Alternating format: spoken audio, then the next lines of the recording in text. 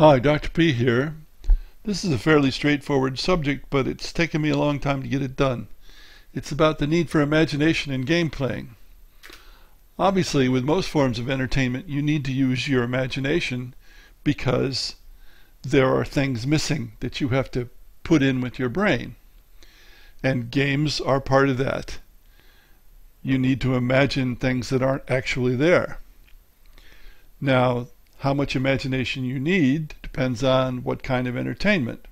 For example, with video games, we've got to the point where much less imagination is required than with tabletop games because the game can show so much more with photorealism.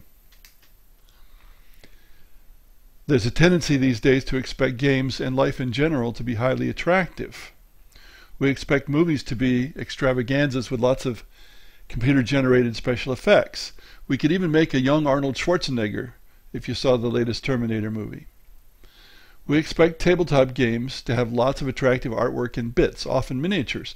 These are all aids to imagination. I think imagination has suffered for decades as young people, kids, are presented with fully formed items such as toys that have stories associated that require much less imagination than in older times. Kids don't just get a set of race cars and have to imagine the rest. They get cars from the movie Cars 1 or Cars 2 or Cars 3 and so forth. Here I want to differentiate brain fever, which is wild imagining, from imagination in the service of problem solving or entertainment. The use of imagination in the service of solving problems seems to be much stronger, that is to say, more noticeable, more used in older people than it is in younger people. Brain fever is more common as people are younger.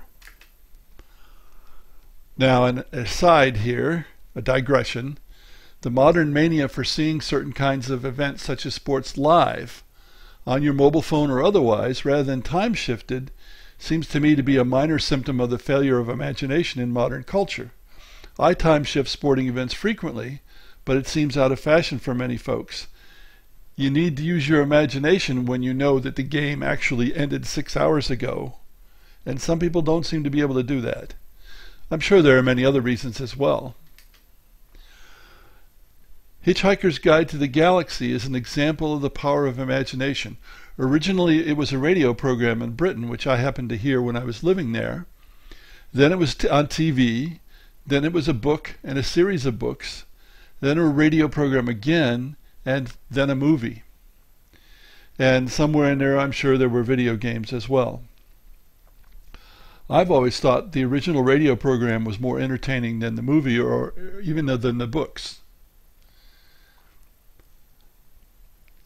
Tabletop RPGs rely heavily on imagination, and many video games derive from tabletop RPGs, but the video games are able to supply much of the look and feel that you can't do on the tabletop.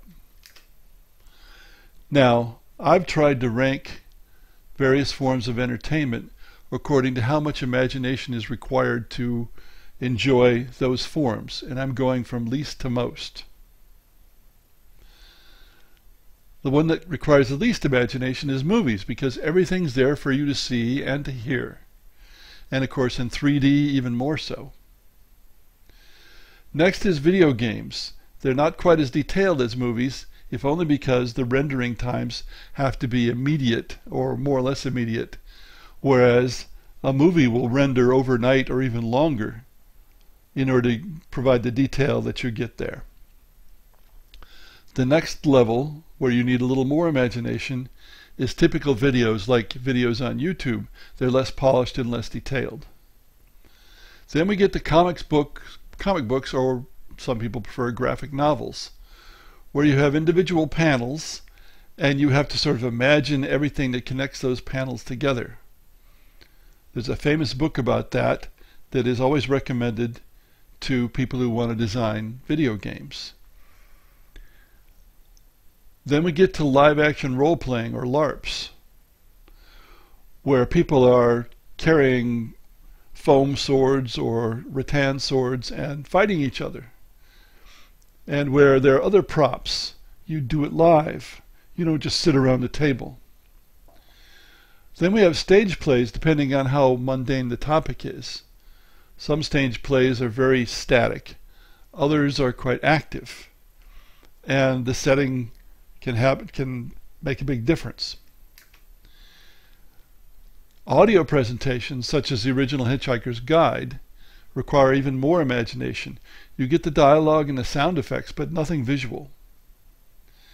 Tabletop games provide visuals without much movement, without dialogue, without sound.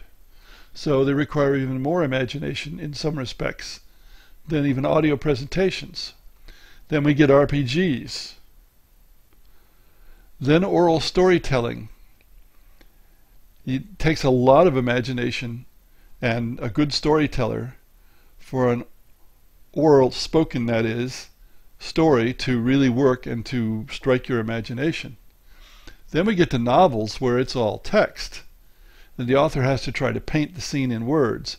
That takes a lot of imagination, and maybe it's one reason why people don't seem to read much anymore, whether it's novels or nonfiction. And then short stories, I think, take even a little more imagination because the author doesn't have or doesn't use so many words to describe what's going on. Of course, some authors are very descriptive and some are not. And that's just the style of the authors. Um, who knows why? Of course, this is a generalized list, and you can find individual exceptions. Remember, quote, no generalization is always true, not even this one, unquote. Perhaps the hand-holding we see so often in video games comes from this lack of imagination. And of course, in video games, players aren't using their brains much. They aren't thinking much, I should say because those games, many of those games are athletic where, where what counts is how fast you can twitch in, in effect. I think as entertainment requires less and less imagination, imagination atrophies in the young from lack of use. There are many things from muscles on down that if you don't use it, it gradually goes away. Now in tabletop games, designers can try to help player imagination but the ultimate decisions about artwork and miniatures are with the publisher, not the designer, because that all costs money. And of course, if the designer self-publishes, then the designer decides how to spend money in order to get these aids to imagination. Is this lack of player imagination bad? Well, I don't know, but it's certainly unfortunate. Can we do anything to change it? Not much as individual game designers, certainly. Probably not much, period. It's a consequence of the advances of technology, really. Thanks for listening.